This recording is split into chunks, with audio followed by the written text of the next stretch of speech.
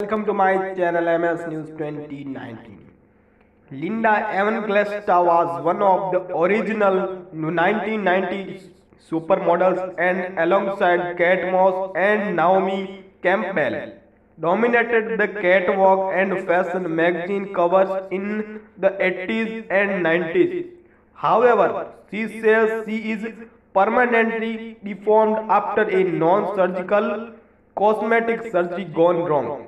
In a post on Instagram, Evangelista said after having a procedure known as CoolSculpting, which involves freezing fat on the body and is similar to body contouring. She developed complications which have resulted in a radical changes in her appearance.